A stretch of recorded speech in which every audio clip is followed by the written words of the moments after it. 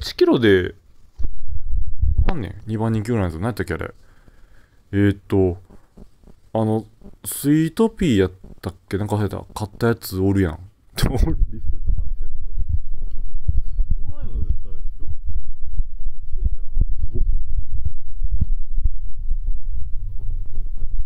よ。使いしてこっち来ためな。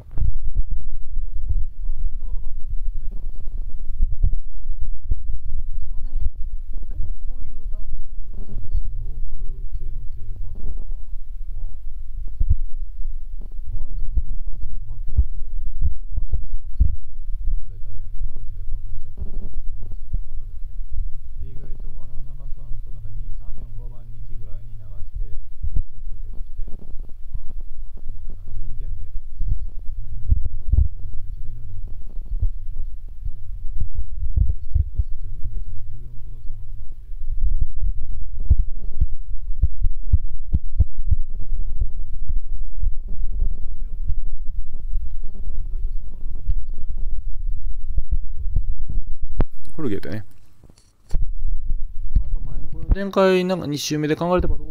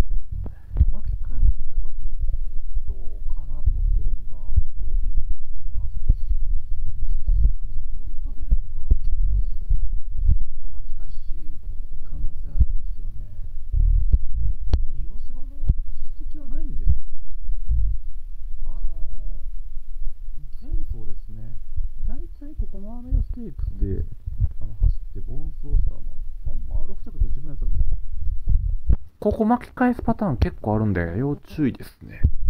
はい。あの、それだけです。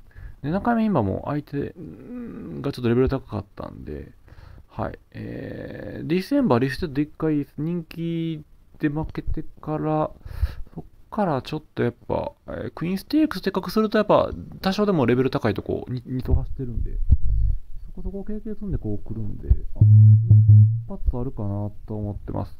はい。4コーナーは、あの、福島で。えー、あと中山かな。で、実績あるんで。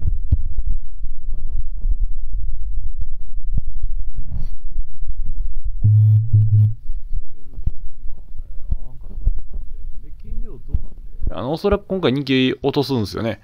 54キロ、3キロで負けてる立場。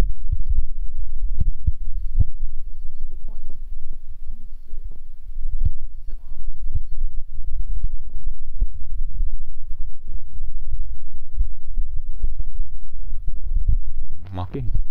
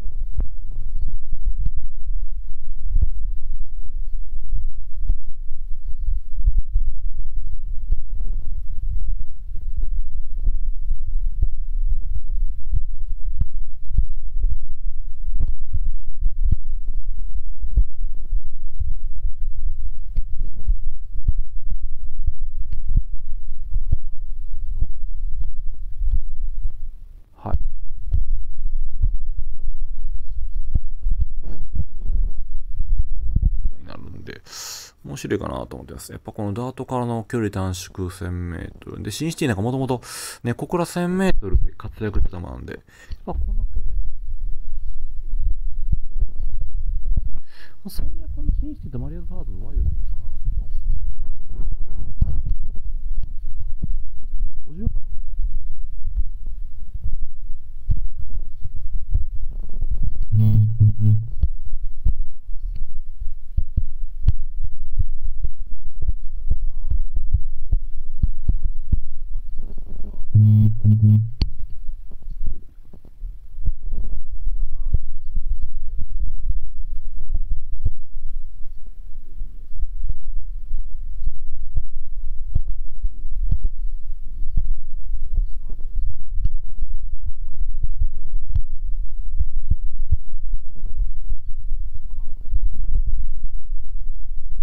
さんが言うね。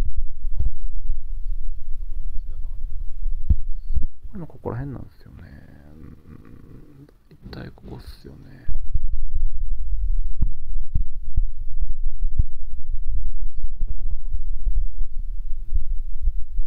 今週なんかあったっけ俺？今週は配信できるんか。来週の土曜日が多分アウトっぽいんよね、多分。確かアウトな気がした。アウトやな。うん、そうやね。えー、カーネットステークスが面白い。うーんとね、確かグレートマジシャン出てきましょう。普通に40勝レース、勝負っていうか、見てみたいなっていうレースですよね。これ暫定一番人気です。1ヶ月、え、いっちゃ、1年2ヶ月ぶりか。ほう。久々やね。そうやね。去年のダービー以来やもんね。はい。あとあの、グラティスの去年の世代やし、あと、キングストーンボーイ。こちらも去年。エクスプロージョン。あ、山井さんもそうか。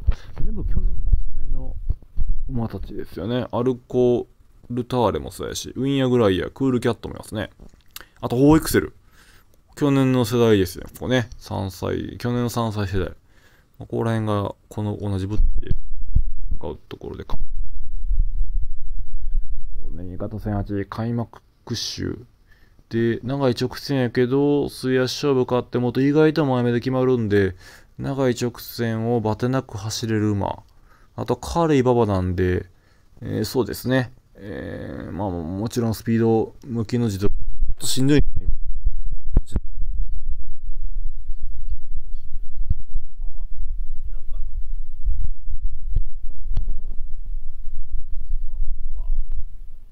ょっと後ろ側の競馬続きなんですけど、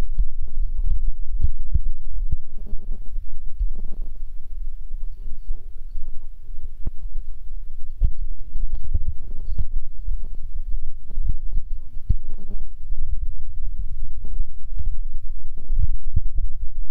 大事やな。1080結構パターンで。